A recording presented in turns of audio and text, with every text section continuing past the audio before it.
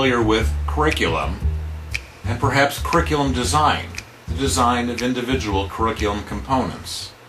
But there's also curriculum architecture, the specification of a learning continuum or a training and development path or what's known nowadays as a learning path. There's curriculum architecture design that goes beyond the development of a learning path and involves an enterprise curriculum architecture. These are the topics for this video. PACT is an engineering approach or an architectural approach to instruction and information. PACT is an acronym. Performance-based, accelerated, customer and stakeholder driven training and development of any blend. There are three levels of instructional design in PACT. Curriculum architecture design, modular curriculum development, which is the ADDIE equivalent in the PACT processes, and instructional activity development, which is a subset or develops components of traditional instruction. It's a subset of the modular curriculum development methodologies. All of this is aimed and targeted at producing performance competence, which in our terms is defined as the ability to perform tasks to produce outputs to the stakeholder requirements. Stakeholder requirements impact both the tasks and the outputs of performance. There are seven business reasons for embracing the PACT processes. The first and most important is increased performance impact of the instructional and informational products. PACT also increases modular design reuse, which by itself then reduces development time and costs, inventory system costs, administrative systems costs, deployment systems costs, and maintenance systems costs, affecting the reduction of the life cycle costs for the products of information and instruction. I was a co-author of the first reference to curriculum architecture published in Training Magazine in September 1984.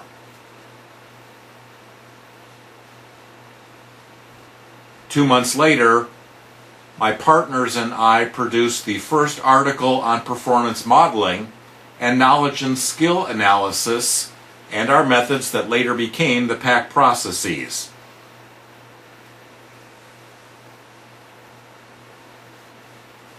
In April of 1985 at the NSPI conference, I presented the first national presentation about curriculum architecture design via a group process.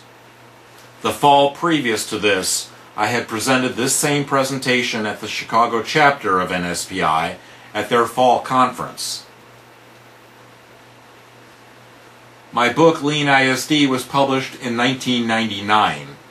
It had started in 1983 as the Curriculum Manager's Handbook. The late Dr. Gary Rummler wrote a very nice review of both the book and the methodology as well as he redesigned the cover of the book, and this is that cover. Lean ISD was the recipient in 2002 of an ISPI Award of Excellence in Instructional Communication.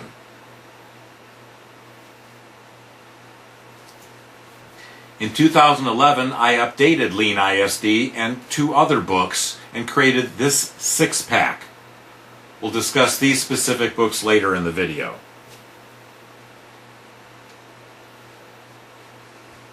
the PACT processes, five methodology sets, including three levels of instructional design, curriculum architecture, modular curriculum development, instructional activity development, which are all supported by a common set of analysis methodologies and tools, and a common set of project planning and management tools three levels of design, and common analysis and project management. These are the five key elements of the PACT processes. Let's start by looking at curriculum architecture design. My experience with curriculum architecture design goes back to my very first project in 1982 with Exxon's USA Exploration Group. We were looking at the knowledge and skill requirements of geologists and geophysicists who were exploring for oil in the sands of West Texas, in the Rocky Mountains, in the tundra of Alaska, and offshore.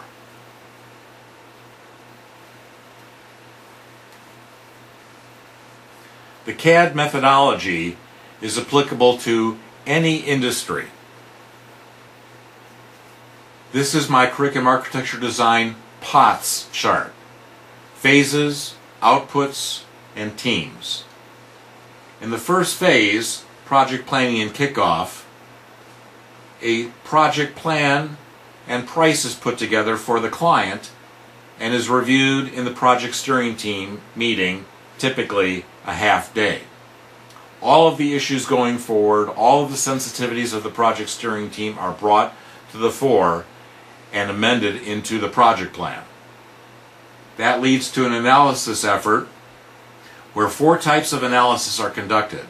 A target audience analysis, an analysis of the performance, an analysis of the enabling knowledge and skills, and an assessment of all the existing content to see what might be reused. That's the result of an analysis team meeting that typically lasts somewhere between two and four days.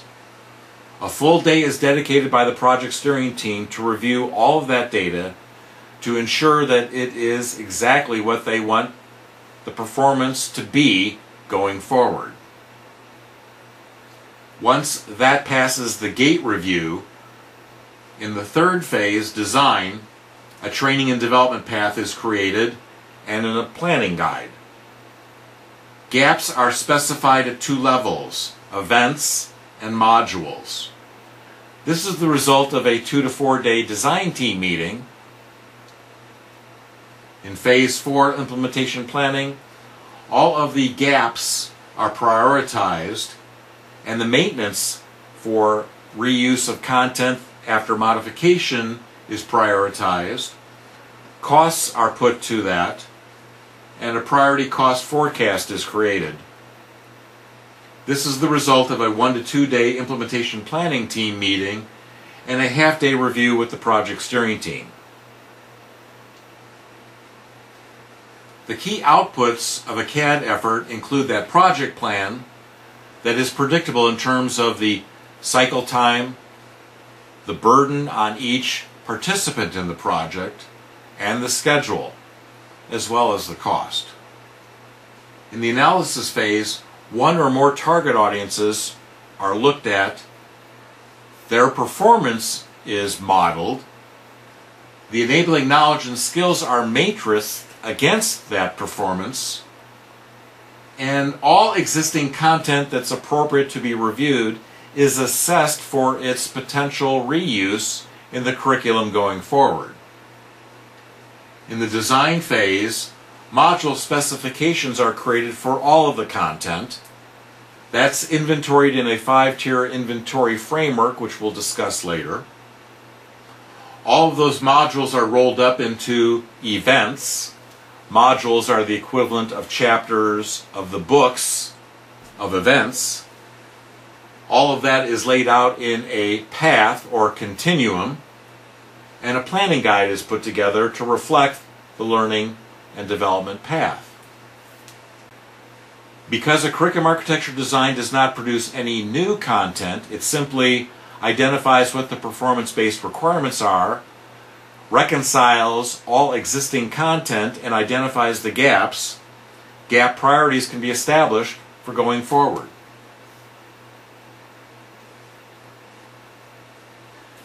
This is an example of a training and development path, or what our client called a leadership and management development path. Associated with this path is a planning guide. The path is a marketing poster. The planning guide helps bring it home to the project steering team and all managers who would be planning training for their staff. Consideration is given to each event on the path due to its recommendation of being mandatory, highly recommended, or an elective. This training and development path was for consumer sales associates. This path was one of seven of this project.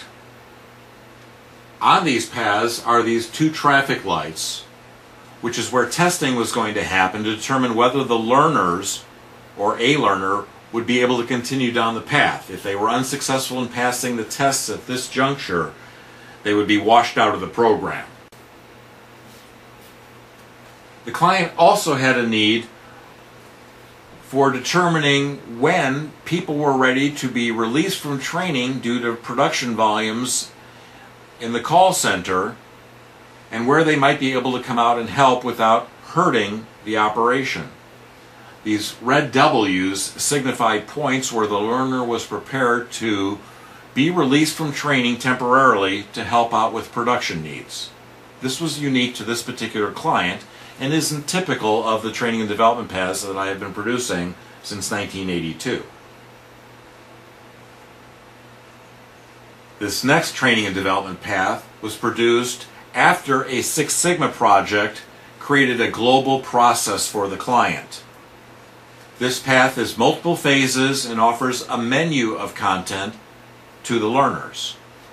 What's unique about this particular path is all of these events in the blue area at the bottom were really content that could have been put in the very first phase. However, the client was very sensitive to the type of training that was offered in that section and wanted to remove it from the key path. Things such as using Word and Excel and things that they thought were really of kind of low value but were truly foundational. And they didn't want to gunk up the front end of the path because of how their executive management might react to that. So all of that content that could have been in the very first phase in block zero in this path was put at the bottom as a foundation to the path. This curriculum was designed as a series of modules and events starting with the 1000 series, the 2000 series, and the 3000 series. Think of this as basic and intermediate and advanced. This project was first done in 1986, however, this particular path was based on a revisiting of the curriculum due to the changes in this particular business and their processes and was refreshed in 1989. The very first blue box, the very first event on this path, was a video that was 11 minutes long. This video is posted online, might be of interest to you to review this. The next blue box that's circled in red is a module that was a 100 page novel of two fictitious product planners going to work for this group, and it told the story of their first year on the job. This was used as an advanced organizer for all of the learners to begin to grapple with the complexity, the chaotic nature of the world of work for product managers in this particular business. The next module was an orientation that was a do-it-yourself approach where people, the learners, went around and interviewed their managers to determine what their products were that they were responsible for, how these products fit within other systems that were being sold. It was to demystify the complexity of their products that they would be responsible for as product planners and product managers. The next module was a demystification do it yourself of your job. What elements of product management were you going to be responsible for? Would you be doing the financial planning associated with a product or a product family? Would you be doing the engineering planning, the manufacturing planning, the sales planning, the product support planning, etc. The job was very complex, and of the 1,100 people in the product management target audience, it's almost fair to say that no two jobs were alike. They were different configurations of eight different major functions that we were able to break the product management job down into. The 1000 series culminated at the very end with an eight day training course that I delivered 31 times for this client, including five times in the Netherlands for their international operations.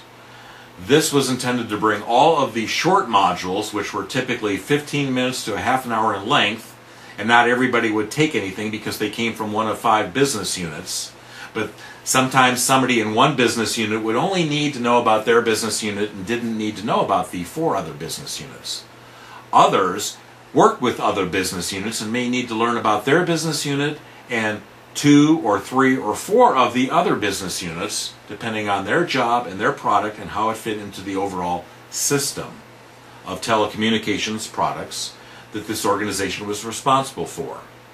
They were managing 500,000 distinct orderable products for the telecommunications industry. CAD has four phases. If you take a close look at this graphic, you'll see that the traffic light is turned upside down. That's because we wanted it to be not a stop light, but a go light. At each of the gate review meetings of the project steering team, at the conclusion of each phase, there were four key decisions that the project steering team could make.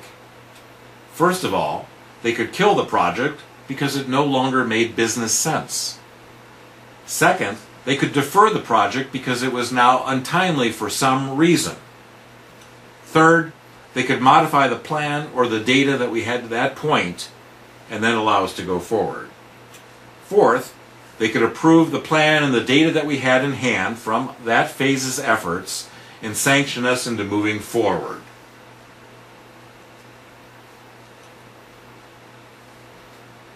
As we told the client, ISD, the instructional designers, own the process, but the client owns the content.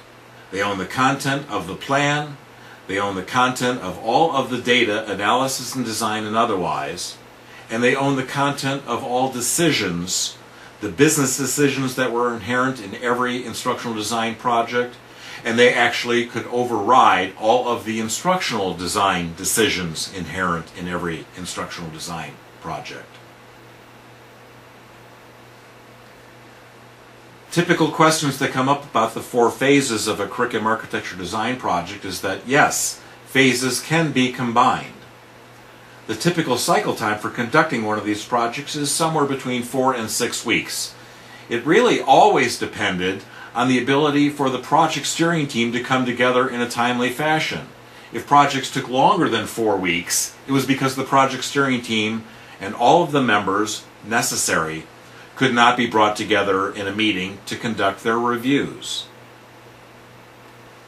These projects can be done in as little as five days if everyone, and I mean everyone, that's required can participate the entire time. That would include the people that would typically be on a project steering team, the client and the key stakeholders, the master performers and others who would be on the analysis and design teams, and perhaps somebody from the financial organization to be involved in the implementation planning and the costing out of going forward and implementing and addressing the gaps of the curriculum.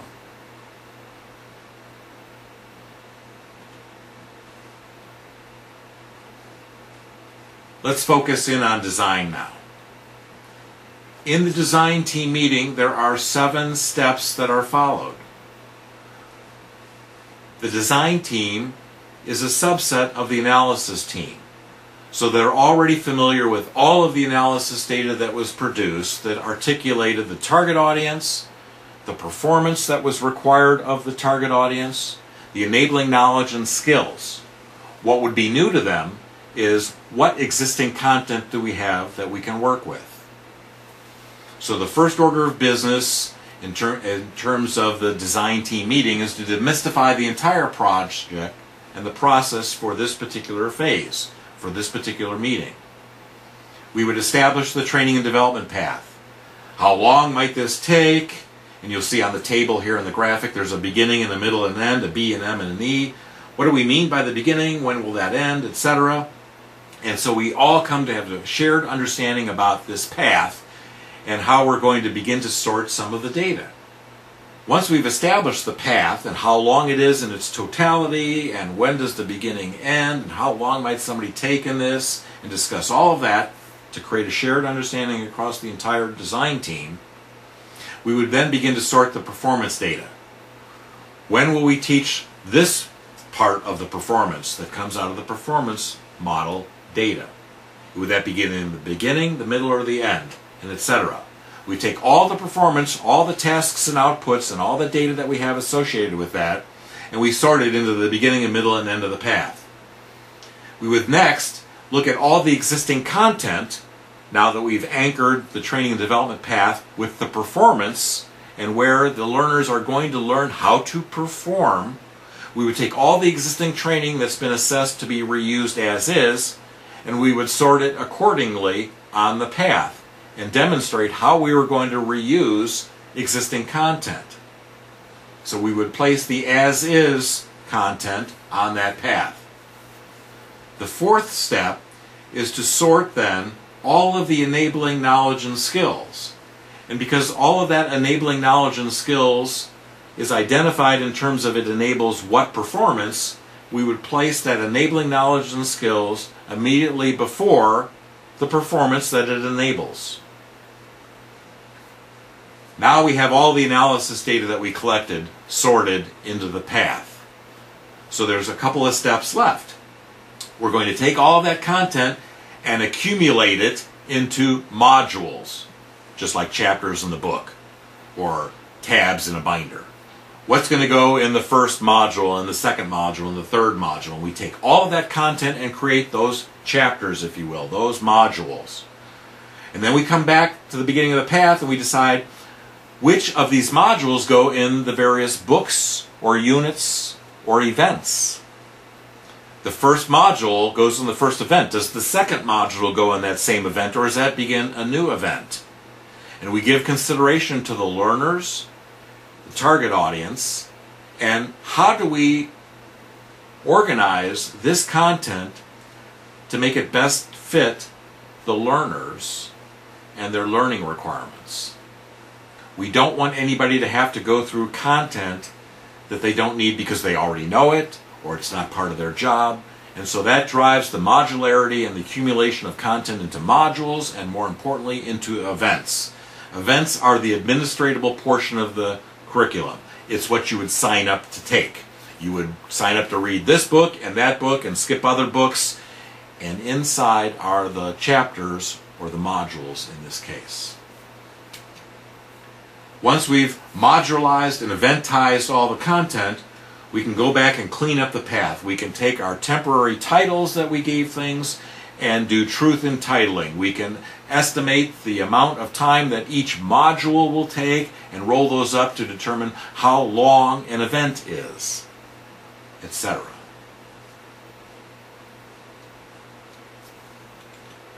An example of this is now on this next graphic.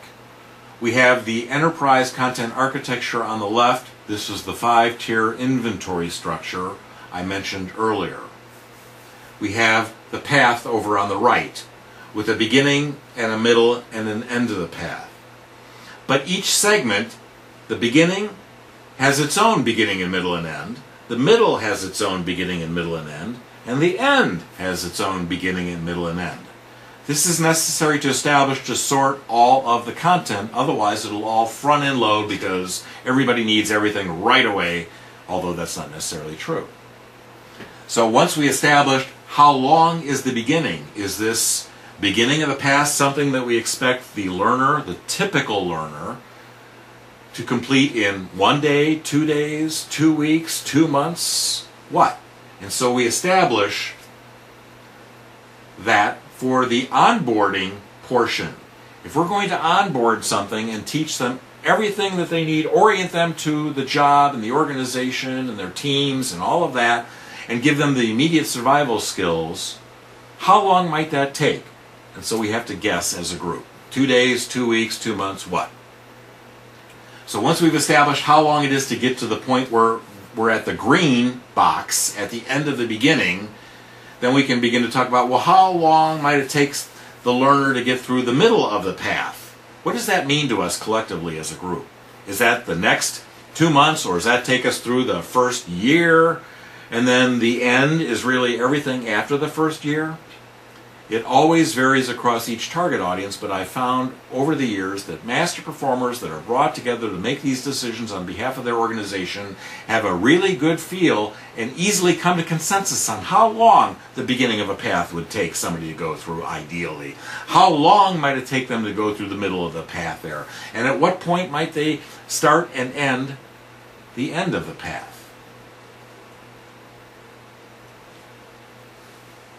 The five tier inventory has organizational orientations in tier one.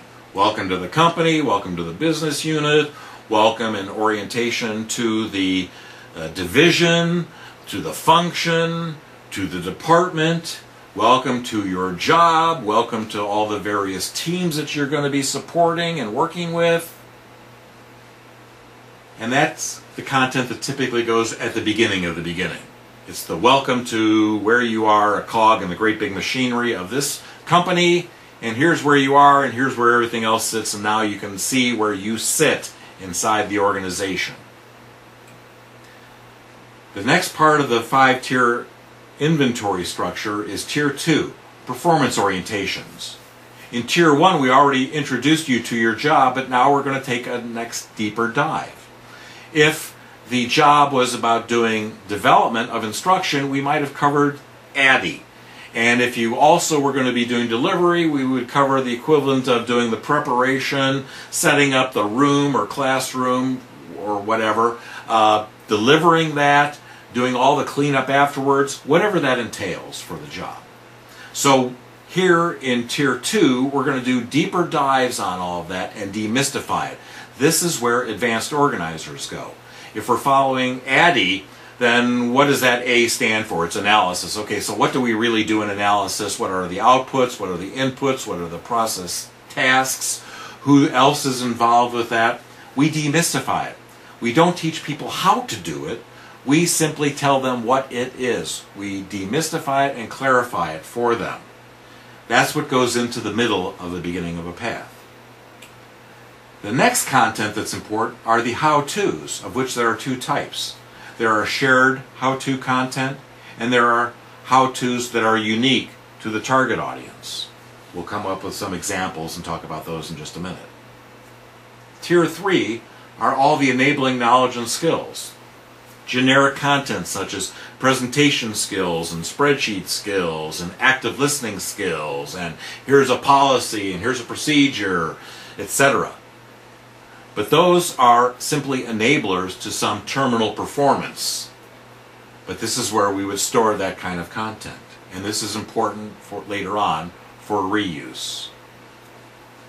So we might have various content now on the path on the right that's also would be coming from our inventory on the left. And you can see where the enablers of tier 3 precede the how-to modules. I might need to learn about spreadsheets before I do a financial plan. So spreadsheets are generic, but doing a financial plan for an instructional product is different than doing a financial plan for other places in the organization. So that would be both a tier 3 generic enabler and a tier 5 unique to my job because nobody else in the company does a financial plan for an instructional design project. Once all of that data is sorted, driven by the analysis data that's actually sorted onto the path, we can begin to modularize that. So which things kind of go together and it makes sense to package them together into a chapter of a book or a module of an event. And so that's what these red boxes suggest that, gee, that's how we might organize that content and put it together. Not everything needs to be a separate deliverable, a separate module.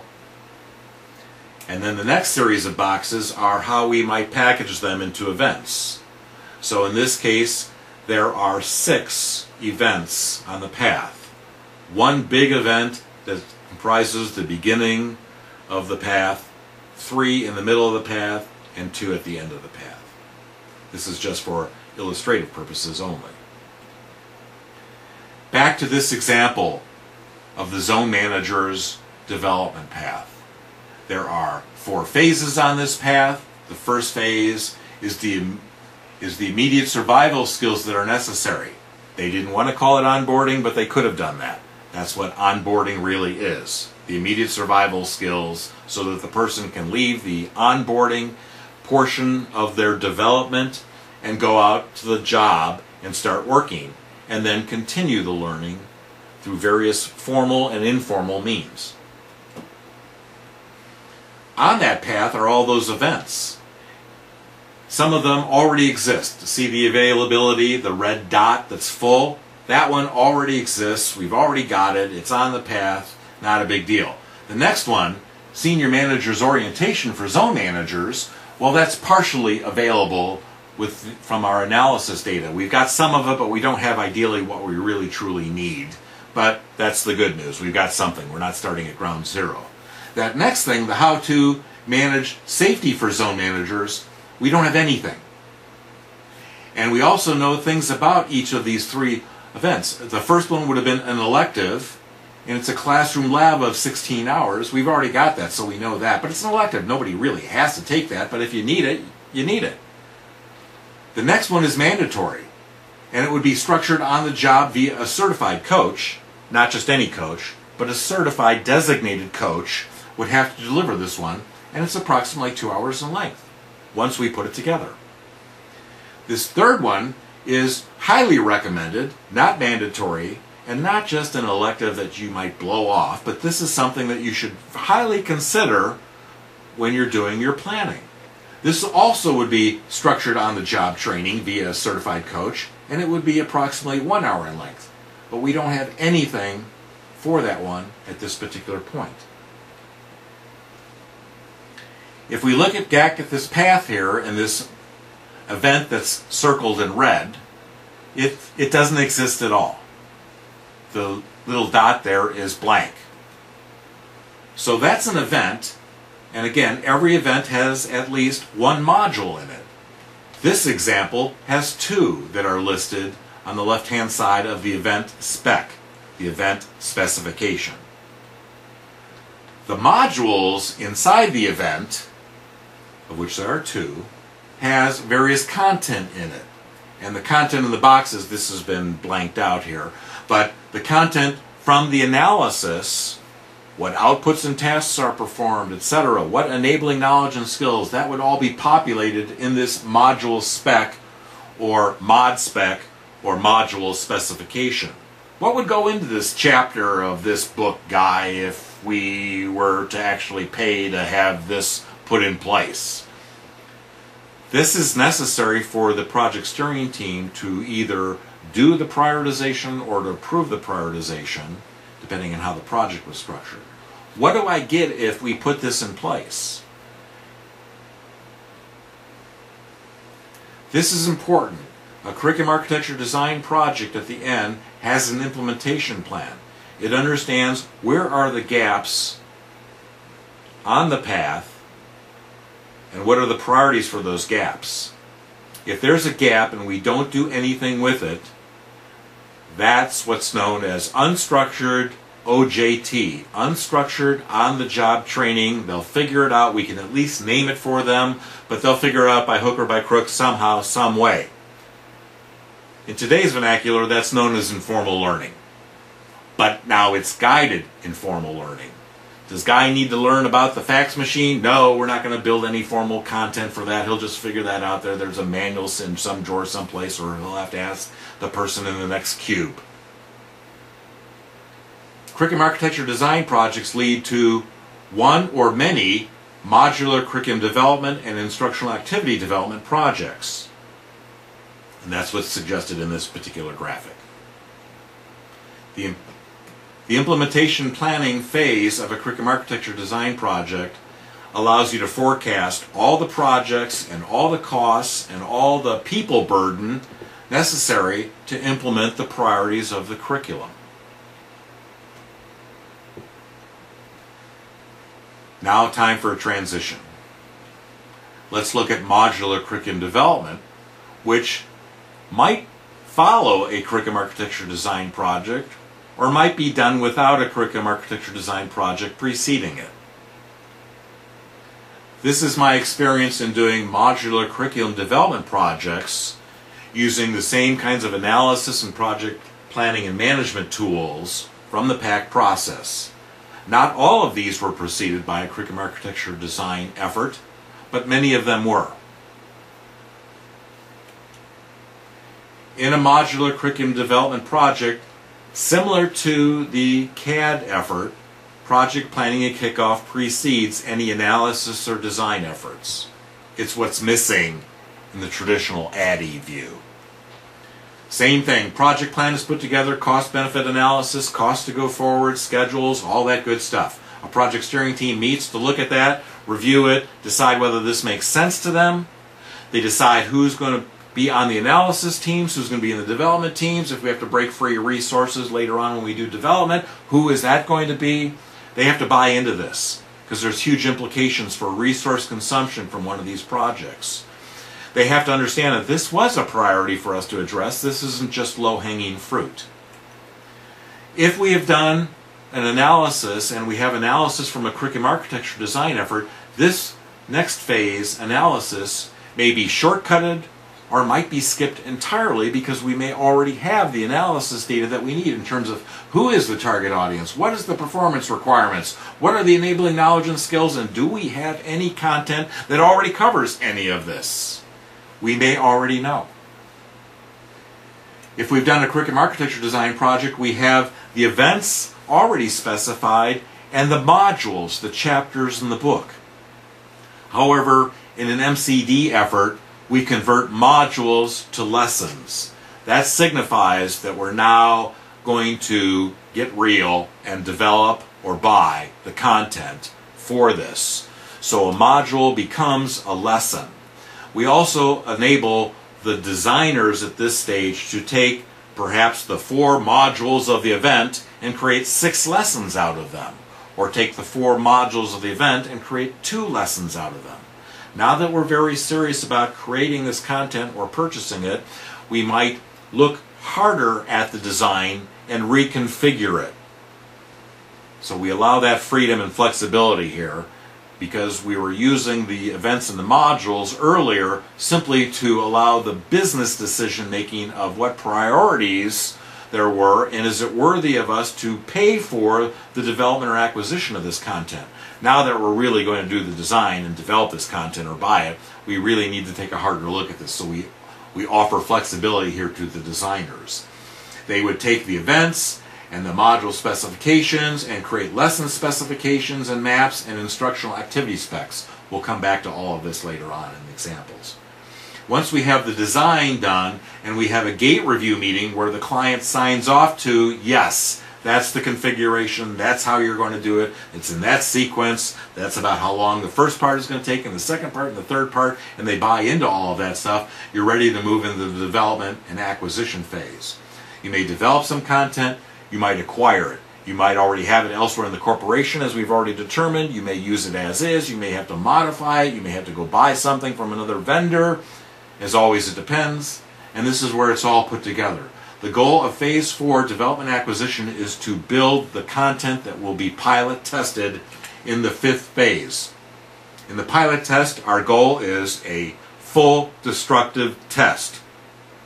If we can bring together the target audience and management representatives into a pilot test, we are going to deliver the content as we would going into the future, but our goal here is to see if we can break it.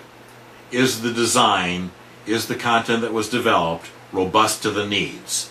Does this meet the needs? Can people master the performance so that it has a prayer of transferring to the job? So that's what the pilot test proves. And anything that's not quite right that comes out of the pilot test and the evaluations and the observations of the pilot, depending on how it was delivered, deployed, in the sixth phase, revision is done based on the results of the pilot test or tests, and then it is released. The content is put into the learning content management system, the learning management system, or into the metal file drawers so that the people that are going to do the delivery, the deployment, can go get them and use them going forward. Key to a modular curriculum development project is the development of a map, an event map. And just like a map of a country is then a map of the states, an event map is of the lessons. So in this example here, there are multiple lessons within this event. For example, that lesson can be specified now on a lesson map and again, that lesson map is of instructional activities, the next level in the design of MCD. There's events, there's lessons, and there's instructional activities. So that third instructional activity on the lesson map can be specified, and this is where all of the content of the analysis efforts ended up. Here's where all the tasks and the outputs and the gaps and all of that and the enabling knowledge and skills and any existing content that we're going to reuse, it's all resident then on the instructional activity specification, or what we call the activity spec. Not to be too confusing, but there are three levels of design in MCD and IAD, Modular Curriculum Development and Instructional Activity Development. Now there are three levels of design in the PACT processes, but when you go to the bottom two of those, there's three levels events, lessons, and instructional activities. We could have gone farther, but we decided not to. This is the information that would be given to the developers to develop the content. It would tell them what is going to be developed exactly, what content they're going to be dealing with when they do those developments, what sequence it's going to flow in, etc. The holy grail of reuse. I've been working on reuse of content since 1981 before I started doing curriculum architecture design projects. So it's a major driver of me. The tool set that I use includes the five-tier inventory structure of content, part of an enterprise content architecture, and with the concept of maps and lessons and instructional activities. Reuse, unfortunately, was driven into a ditch with the concept of the reusable learning object, an intact course or lesson that was itself not a modular in its own design. That's where I differ. My lessons are comprised of modules which are in fact the instructional activities, which themselves can be looked at as modules, as elements, as components. There may be pictures and diagrams that are reused over and over again in multiple instructional activities, therefore in multiple lessons, and perhaps even in multiple events. So it's all about these objects and how we classify them. For example, these instructional activities, the how-to, complete a travel and expense report. What tier would that go into?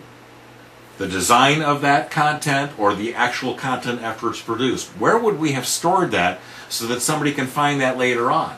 Because completing a travel expense report is something that many different jobs inside an enterprise might require. How to evaluate a training program however, is quite unique to some jobs, and that's not shareable. So is where the first how-to would be in Tier 4, shareable performance how-tos.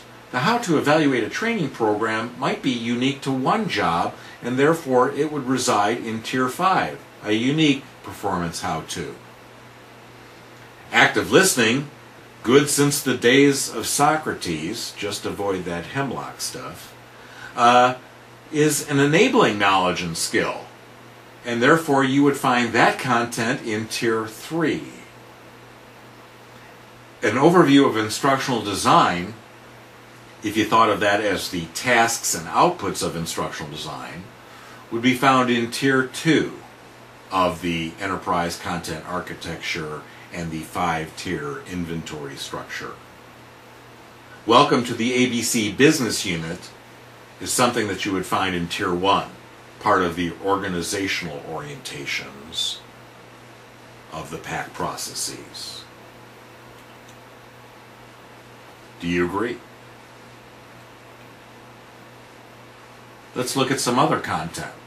Spreadsheets, generic spreadsheet training. Spreadsheets which would be necessary to how to complete a travel expense report, depending on the tool that's used to complete expense report, would be in a, a generic enabler. And that would be found in Tier 3. Statistics, which would be used in evaluating a training program, would be a Tier 3 set of content, shareable with many different terminal performance sets of content. Handling complaints is something that many jobs in an enterprise might have to do. Ask every manager if they have to handle complaints, not just the people at the complaint window. That content would be in Tier 3. Active listening and handling complaints are enabling content that would allow somebody to do the terminal performance of their job. Writing instructional objectives is unique to instructional designers and therefore would be part of a Tier 5 set of how-to content. And welcome to the ABC Business Unit is a Tier 1 organizational orientation. I hope this has been helpful. How that would play out in a lesson map for handling XYZ in your job with learning objectives, which is given ABC, you're able to do XYZ as measured by 1, 2, 3 under both sunny skies and torrential rain conditions. There would always be an open and a close, where in the open is an advanced organizer that demystifies and lays out how we're going to get through this particular lesson. What's the point? How does this connect to the things previous? How does this connect to things downstream in the learning? As well as the close, which summarizes this. If you think of the old saw of in presentations, tell them what you're going to tell them, tell them, and then tell them what you told them. The open is tell them what you're going to tell them, and the close is tell them what you told them. Then the rest of the content in between those two elements are the tell them. In this case, perhaps there's information now on generic XY, which would come from tier 3. Then there's specific XY, which is in your job context, learner. This is how that plays out. So there's a generic part of XY and a specific part of XY. If you thought of active listening, there's active listening, generic content, good for everybody, but then how it plays out in the XYZ performance might be slightly different, might be nuanced. This is how, where, how we cover that. The next thing then is a demonstration of how that XY plays out in the specific context of this particular learner. So this is what XY looks like. And we can demonstrate it. We can do a slow motion demonstration on video and point out the various nuanced portions of this because that's what the learner needs to learn. That's what they need to master. And then we can have an application exercise, an authentic application exercise that is replicable of their real world performance requirements, their job tasks, producing the outputs that they produce and we can have an application exercise on that. But wait a minute, this only covers X and Y out of the handling XYZ. So we need to now add in the generic components, if there are such, for the Z portion of this, And then again talk about how Z factors into X and Y and becomes XYZ. And we can demonstrate that through slow motion video or role plays up at the front of the room with actors who know what they're doing, etc. And then we can do an application exercise of how to do XYZ. But wait, maybe that was just under the sunny skies condition. And we need to add another exercise where we throw in all the real world complexity and all the real difficulty there and have an exercise that follows on doing specific XYZ in the pouring rain. And then it's time to close the lesson out, reflect on what we've learned, how this fits into the bigger picture, what this then leads to next in the learning continuum. So the five-tier inventory structure contains both generic content and specific content, active listening and the generics of active listening, and active listening in your job where you have to do interviews of subject matter experts and master performance and clients and it's very different than everybody else's specific application of active listening, as one example. But we also might have then specific active listening for one particular job, the original content, and then somebody might come along next month or next year and create another derivative of that active listening because they're doing something very close to what our first learner's application was, but there are some different nuances that we need to change, and so now we can create a derivative of that. Maybe it only needs a 5% tweak from that original specific content, 5% difference, and now we've got exactly what that next learner population needs. So our inventory of content needs to account for all of these types of content. The generic stuff, the generic stuff made specific, and the different variations of specific content. Active listening is not active listening for every job in the corporation. However, almost all jobs, if not all jobs, require active listening. The performance context is different. The PACT processes have been doing this for clients since the early 1980s. Reuse of content is not a theory. It has been proven time and time again. But why bother with all of this? Well, for the return on investment. Research shows that only 5 to 15% of the population can learn out of context and apply to another context. So if you teach me active listening and it's not authentic enough to my specific application, the chances are I will not be able to learn it in your learning experience and then apply it on their job.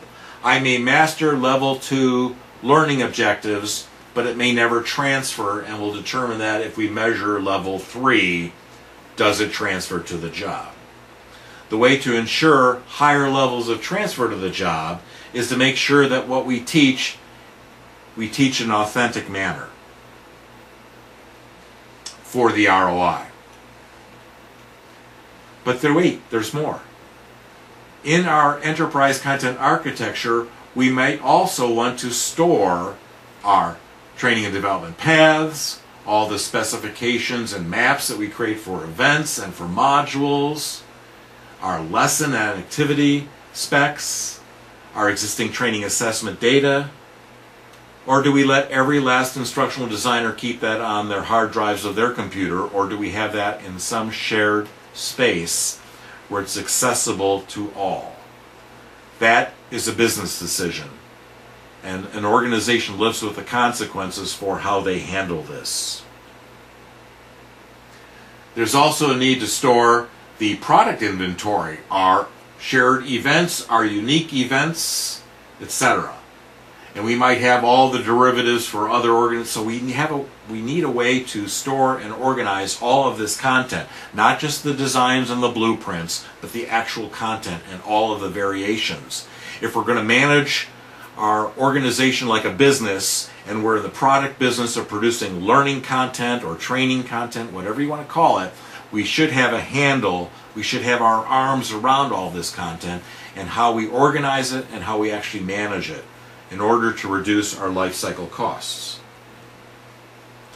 And there's also legacy content, non PACT design, stuff that was bought or built years before, and we're not going to blow it up and remodulize it and do all of those things. It's not necessary. We'll use it as is.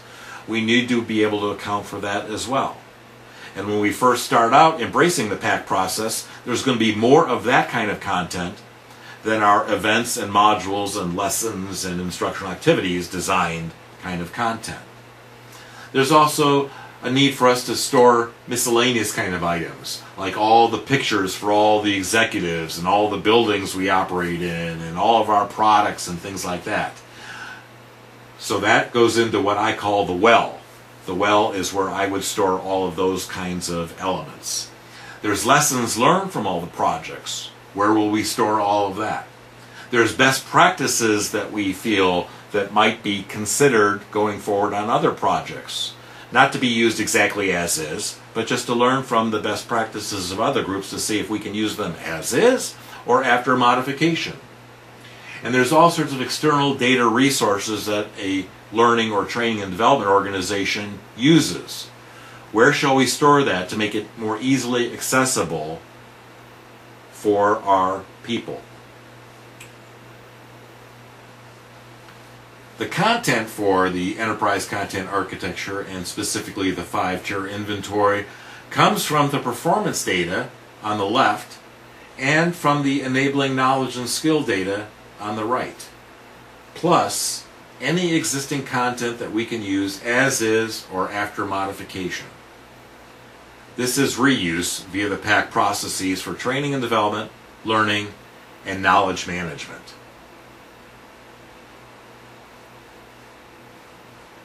Now let's look at instructional activity development, a subset of modular curriculum development. Instructional activity development uses the same six phase structure. Yes, some can be combined, such as if a CAD project happened before, you might combine the analysis and design phase into one phase and not have to do very much there because you've already done it previously. Or no, this may be brand new because what you're going to be building for the client to meet their most immediate needs wasn't preceded by a curriculum architecture design effort. The kinds of outputs, and this is not an all-inclusive list, but we could be building instructional content at the awareness, at the knowledge, and at the skill levels. We can make people aware of welding. We can make them very knowledgeable about welding and how to tell a good one from a bad one, or we can actually teach them how to weld. Three different types levels of content. We might build a knowledge test, paper and pencil, if you will, or on the computer. We might be building performance tests, which is actually asking people to demonstrate the performance for us as we use criterion to determine whether or not they did it well enough, safely enough, etc. We might be building simulation exercises. We might be building performance or job aids. We could be building desk procedures that are going to be printed out on pages in front of the performers or on their computer systems in some fashion. Again, instructional activity development is a subset of a modular curriculum development effort. It meets the client's most immediate needs. I've done projects in the past where we did a curriculum architecture design effort, and then instead of building any of the content, all we built were all the performance tests the client was then going to administrate those to determine what content to really build.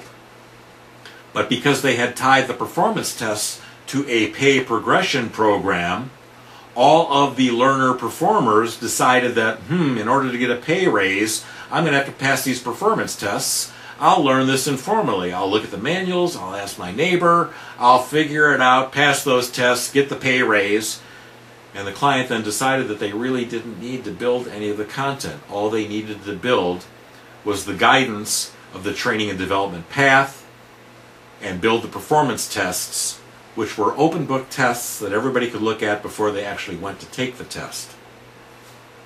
That's just one example. Next, let's look at analysis. We've been talking about doing the design based on having all the analysis data. Now let's take a look at the analysis. There are again four types of analysis data. The target audience data, the performance data, the enabling knowledge and skills data, and the existing training and development assessments data. Depending on our familiarity with the target audience, I mean if we've addressed their needs 27 times in the past, we may not need to do anything on this because we know the target audience inside and out. The project steering team knows the target audience inside and out. And we'll make decisions based on our understanding of the target audience, based on that prior knowledge, and we don't need to go dig up new. But if this is a brand new target audience that we've not addressed before, we may need to know what's the body count. How many of them are there? And then where are they? Are there a thousand people in one building or three buildings? across the planet? Or are they in 500 offices in onesies and twosies and threesies? And that's where the target audience is.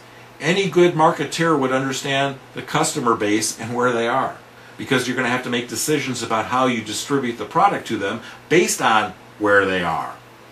What's the turnover rates? Is this organization growing or shrinking? Is it growing in certain areas and shrinking in others, or vice versa? What, what is it that we know about them? What can we safely assume about their incoming knowledge and skills? Are they all electrical engineers and therefore they won't need to be taught AC, DC electrical theory, which is necessary for doing the job performance? But hey, they're already degreed electrical engineers, they already know that. Or no, there are some people coming into the job that are electrical engineers, but there's another portion of them that aren't. And so we're going to have to include AC-DC electrical theory in the curriculum. But we shouldn't modularize and eventize that content in such a way that degreed engineers are going to have to go through that content. We need to modularize that and package that content so that the electrical engineer can skip that. And we might ask them to test out of AC-DC electrical theory or we'll just believe because they have the engineering degree that they don't need it we might save our testing out dollars for other things that aren't so obvious. The second part of the analysis data is to look at performance. The first thing we would do is organize our view of performance into what I call areas of performance. These are also known as major duties, key results areas, many different labels for this concept. ADDIE is a set of areas of performance. DMAIC from the Six Sigma world is a set of areas of performance. New product de development efforts always are framed in various phases. Many things for your customer already have this concept. They may in fact already have a set of area performances that covers their world of performance without any overlaps or any gaps, which is the goal of the areas of performance, is to minimize or eliminate overlaps and gaps as we analyze deeper. So in this example, there's a staff recruiting, selection, and training of a TMC store manager. Then there's work scheduling. Then there's progressive discipline and store operations, etc., etc. These are the various elements that their job contains. Remember this staff recruiting selection A out of the A through G elements of areas of performance. When we take A, staff recruiting, we can now begin to look at, well, what are the outputs and what are the measures for those outputs? How do we know a good output from a bad one? What are the earmarks, the measures, the metrics, and standards, if we have them, for that output? What are the key tasks associated with that output? In the PACT processes, when we do task analysis, it's always within the context of an output. And we look at outputs, it's always within the context of an area of performance. Now for those tasks, we can begin to look at, well, what are the roles and responsibilities? Who's doing task one, two, three, four, etc.? How does that play out? Is there more than one job title involved in any task? And so we can have some clarity around the roles and responsibilities of, in this case, the district manager, the store manager, the assistant manager, and the store clerk. And we can see in that first task that the store manager and the assistant manager can do that first task. but all the rest of the tasks are the province of the store manager. We don't have assistant managers do that. That's not part of their job expectations. The left-hand side of a performance model articulates and captures ideal performance as articulated, as conceded to, by the master performers that are brought together in the analysis team efforts. The right-hand side constitutes a gap analysis up against the ideal performance on the left-hand side. So where we know that what we want is timely and qualified candidates on the left, we can find that we have too few candidates and that's one of the typical performance gaps. Not an atypical performance gap, but a typical performance gap. Happens all the time. This is our signal that the incumbent population is struggling with certain areas of performance. And therefore, this may not be as easy as it might seem because the incumbent population hasn't informally learned this well enough that it's a problem. It's a typical problem. And so, what are some of the probable gap causes? Because we're limited in our time for an analysis team meeting of two or three or four days, we cannot do root cause analysis on this thing. So, what we're asking is for what are the probable gap causes here? What do the master performers in the room on the analysis team think is this? And they'll give us their probable gap causes and then we can attribute each one of those causes to whether it's a deficiency in the environmental supports or whether it's a deficiency of the knowledge and skill of those performers, they just don't know, or it's a deficiency of their individual attributes and values. They don't have the physical attributes, the psychological attributes, the intellectual attributes, or the personal values in order to do the job. We're asking them to be a team member, but we didn't hire team players. Hmm. Or we're asking them to physically handle heavy objects and do that eight hours a day, but we've not hired for that. So there's implications here in what are the causes of the gaps and what can training do about them. Understanding these deficiencies and their causes helps the client understand what training can or cannot do for them.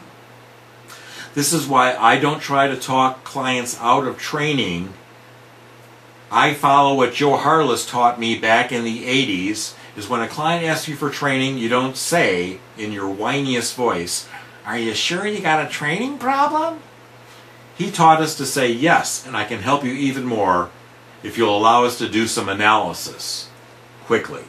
And this is my approach to doing analysis quickly. Assemble a group of master performers together, have them articulate the ideal performance and the gaps and the causes of those gaps and be on a shared journey with them so later on we can all understand what training will actually do for us and what it won't do for us. Where are there issues with the process, the environmental supports, our hiring practices that are causing us these issues? Now, I also use the content on the right hand side of the performance model as fodder for those exercises and the application exercises. How did I know that you needed to be able to do this under sunny skies and in torrential rain? It would have come from the right-hand side of the performance model. Because some master performers have figured out how to do this in torrential rain, but others haven't. They forgot to bring their umbrella or something. The third part of analysis data are the enabling knowledge and skills. In order to perform, you need to know certain things. You have to have certain skills, like mastering a spreadsheet and things like that, so that you can apply that into the authentic performance of doing a budget. We use the knowledge and skill matrices then to tie per category to the areas of performance. So for example, I know that when I need EEO, a company policy procedure, I need it when I'm doing part A of my job, but not the rest of it. When I'm doing affirmative action, the same thing. But when I understand and implement the vacation and days off policies, I'm doing that in four different parts of my job. Later on, when we assess existing content, if we have some content on vacation policies and day off policies, we can look to see whether or not it's generic or whether it touches on the applications that are necessary when I'm doing part A, B, C, and D of my job. Because we might have some content on that, but it may not go far enough, leaving a gap. That fourth type of analysis data is the existing training and development assessment data. Once we understand, ideally, what performance we need to have done by the performers, the learners, and what gaps and causes of gaps they need to wrestle with and learn to anticipate and avoid, or if unavoidable, deal with, and what the enabling knowledge and skills are that enable one to perform, we can do a better job of assessing the existing content, whether that's instructional content or informational content, as to whether or not we can reuse it. Can we reuse it as is, or after modification, or what we've got may be appropriate for other jobs but isn't appropriate for the job that we're targeting in this effort. We do analysis without paralysis. Part of the PACT processes, and the acronym is A for accelerated.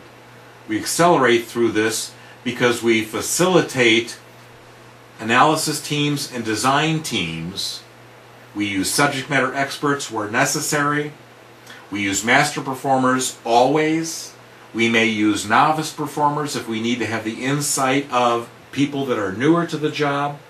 We may use management and supervisory personnel if we feel that the current master performers don't understand the future state that we're striving to get to, and we need to bring in them or other subject matter experts that represent new tools that are coming down the pike, and we need to anticipate those and build that into the future curriculum. We use a facilitated approach, a group process for this. However, these efforts can also be accomplished via traditional individual analyses, interviews, and document reviews and observations, but at increased costs and cycle times. It is a business decision to bring people together. And if that's not feasible, and it isn't always feasible, then we would go the traditional route and do the observations and the interviews and review documents and build our analysis data that way and then assess the existing content against that. The heart of the PACT processes analysis methodologies is the performance model which allows you to systematically derive the enabling knowledge and skills per the 17 categories of knowledge and skills. This content from the performance model and the knowledge and skill matrices is what feeds the enterprise content architecture and that portion that is the five tier inventory framework. The PACT tool and other resources. I use an Access database that I've been using since the early 90s, the PACT tool. It captures and produces all of the project planning, data and reports, the analysis data and reports, the design data and reports, it produces all the project steering team gate review meeting invitations, the communications, the presentations. It does everything up to the development of the content using whatever authoring tool or tools that you have and feeds the learning content management systems or learning management systems that you might have in place. Or if you don't have any of that, you don't have authoring tools, and you're creating instructor-led training, it will feed the development of content using PowerPoint and Word documents. Let's now move into project planning and management. The key thing is the detailed project plan.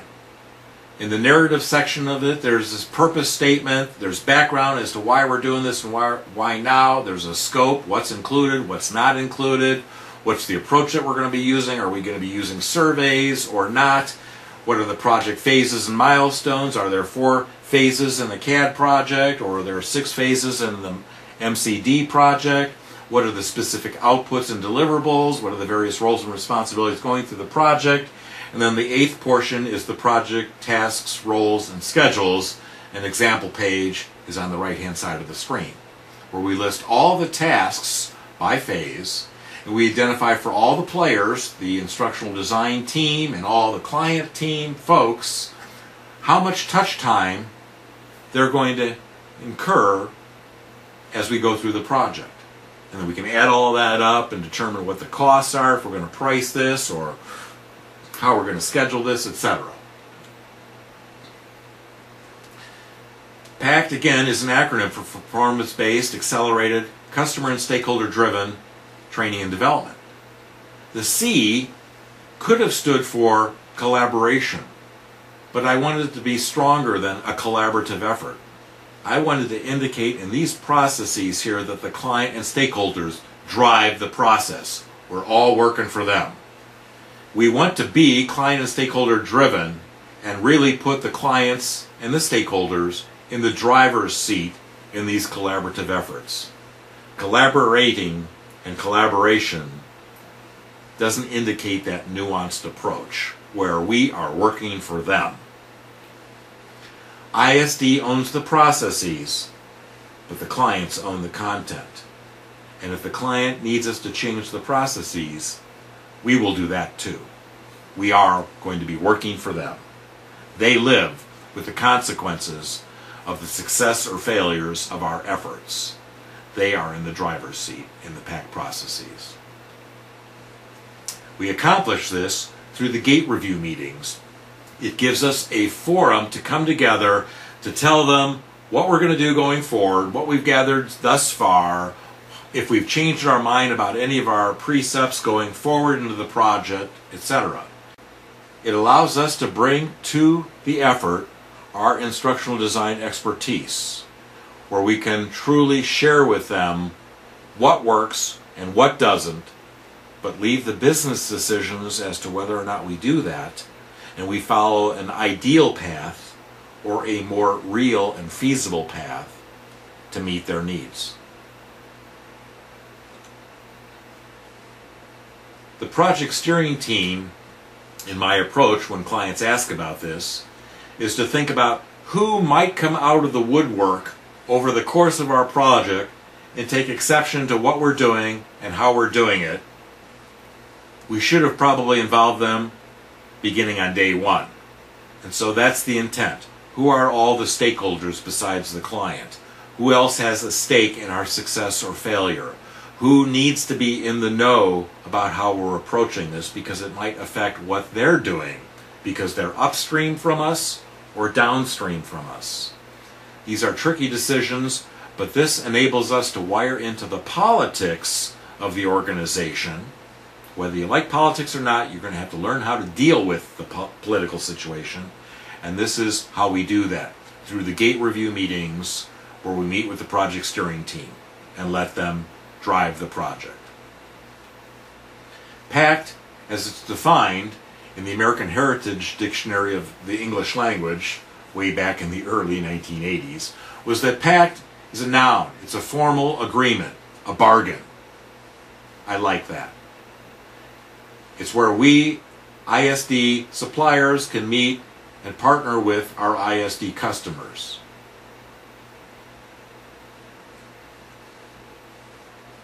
Three levels of instructional design in the PACT processes to help us meet our clients' requirements. A curriculum of modules is not the same as a modular curriculum. In PACT, we use a PACT logic. It's rather complex, but most of the time we're dealing with a complex situation, which will require a somewhat complex solution. Our PACT process data logic ties performance analysis of various types to curriculum architecture design, which ties to the modular curriculum development and the subset of instructional activity development, to build an engineered set of instructional and informational products.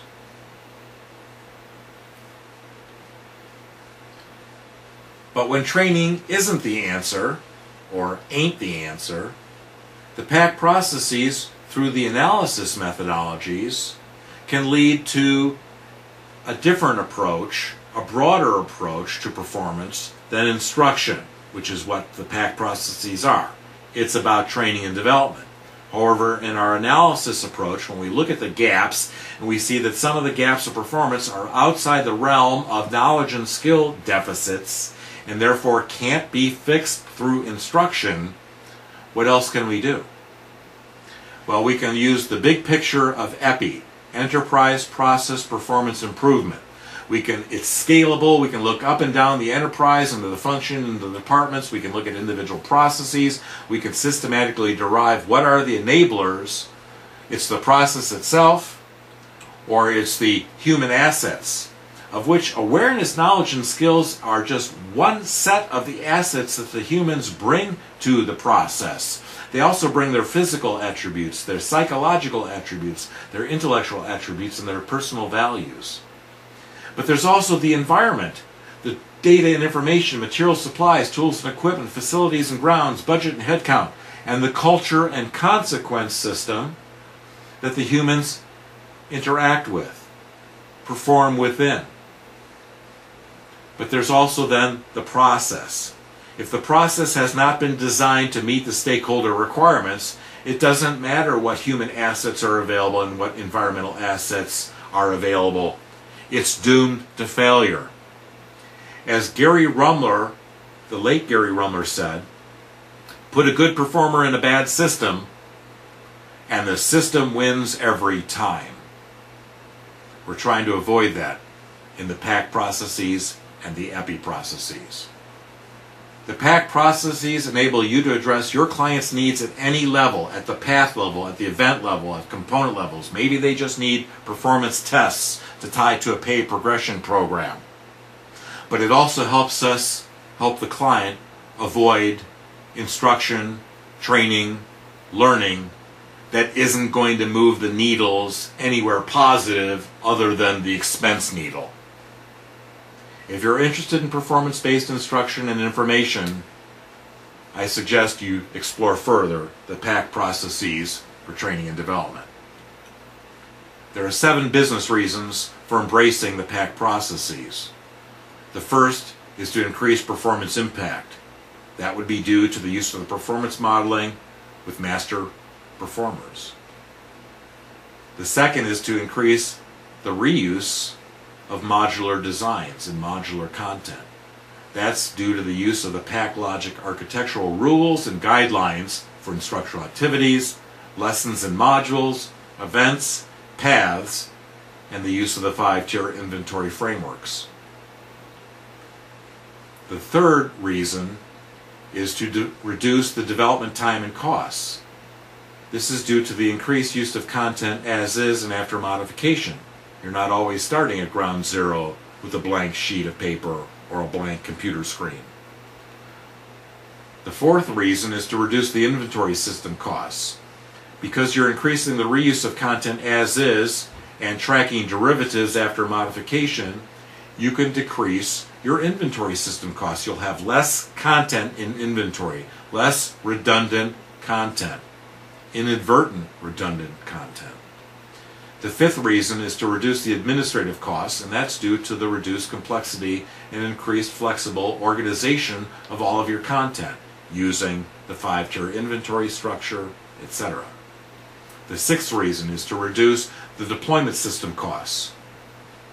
That's due to your use of alternative deployment methods when appropriate that increase local flexibility for training, remediation, refresh, and refreshers.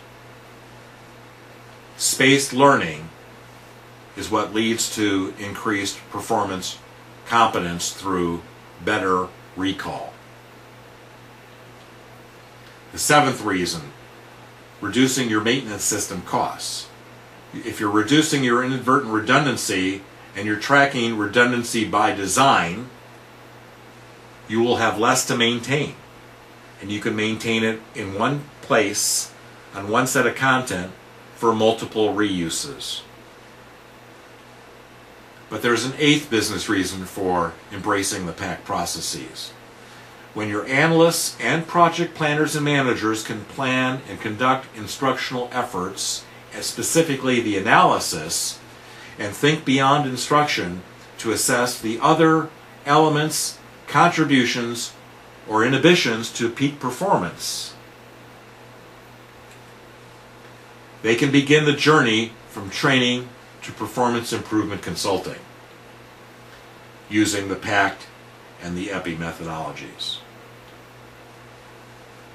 There are five methodology sets in the PACT processes with three levels of instructional design and common analysis and project planning and management, methods, tools, and techniques.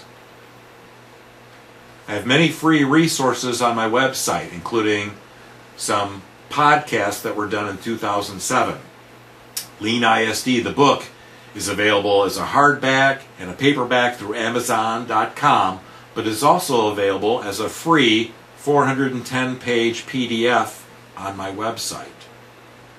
There's many articles and chapters and columns and audio podcasts and video podcasts on these methodologies. Go for more at the resources tab at eppic.biz. There's other resources, including the six pack books that were updated in 2011 from the Lean ISD book, which was published in 1999 after several years of intense effort of writing that. These new books are available as both paperbacks and as Kindles. The Curriculum Manager's Handbook, the original title for what became Lean ISD, is available again as a paperback and a Kindle book. It is for managers in particular. The analysis of performance competence requirements is for practitioners, the analysts, in case you have specialists, people doing just analysis and not doing everything as a generalist.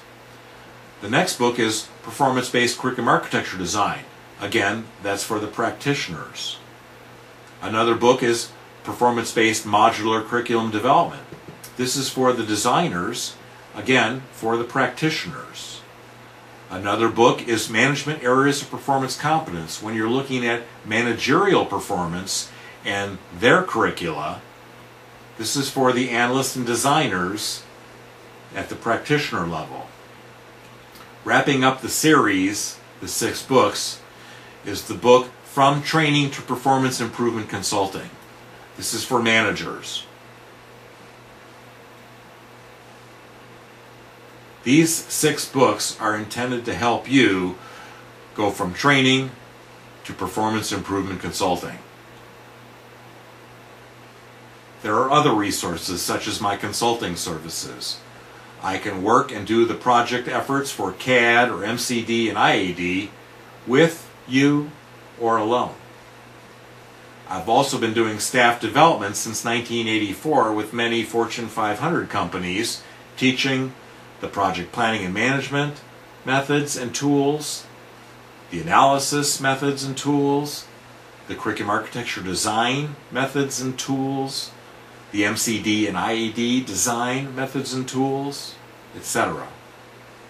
I've also worked with clients to help them redesign their instructional design processes, their versions of ADDIE.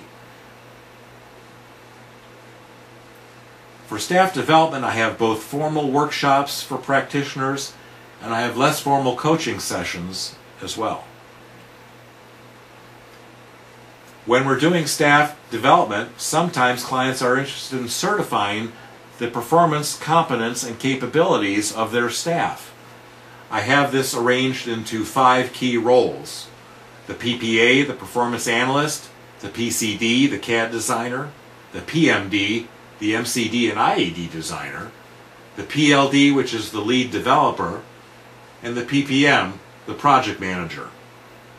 Most of the time, we're targeting to get people to a level 3 in the six levels of certification. That indicates that they have the ability to go solo.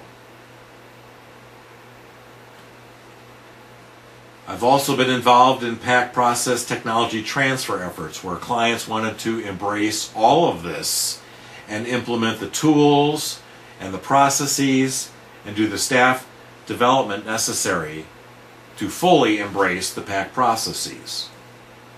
There's a five stage process for approaching this. Why PACT? Gary Rummler said it in 1999. If you want to ground your fantasy of a corporate university with the reality of a sound engineering approach to instructional systems that will provide results, you should learn about the PACT processes. If you are the leader of or a serious participant in the design and implementation of a large scale corporate curriculum, then this book and these methods are for you. This system could be the difference between achieving bottom line results with your training or being just another little red schoolhouse.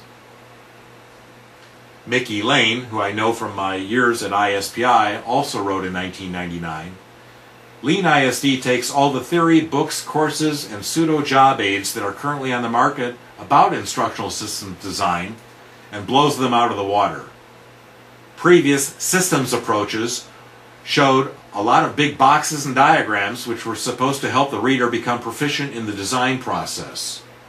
Here is a book that actually includes all of the information that fell through the cracks of other ISD training materials and shows you the way to actually get from one step to another. Guy adds all the caveats and tips he has learned in more than 20 years of ISD practice and sprinkles them as job aids and stories throughout the book. However, the most critical part of the book for me was that Guy included the project and people management elements of ISD in the book. Too often, ISD models and materials forget that we are working with real people in getting the work done. This book helps explain and illustrates best practices in ensuring success in ISD projects. Why PACT? For the ROI.